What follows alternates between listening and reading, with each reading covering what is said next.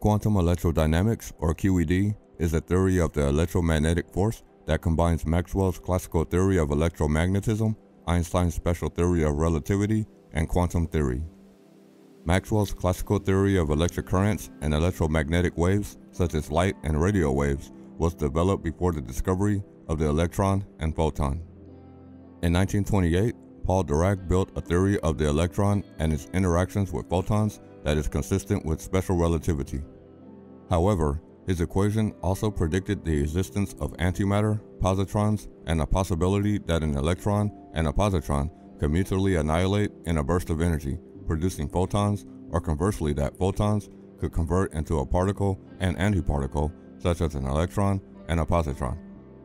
To account for these complexities, Dirac developed quantum electrodynamics, which described the interaction of photons and electric charges, including the effects of matter and antimatter in the electromagnetic field. According to QED, the electromagnetic force between two particles arises as the result of the exchange of one or more photons.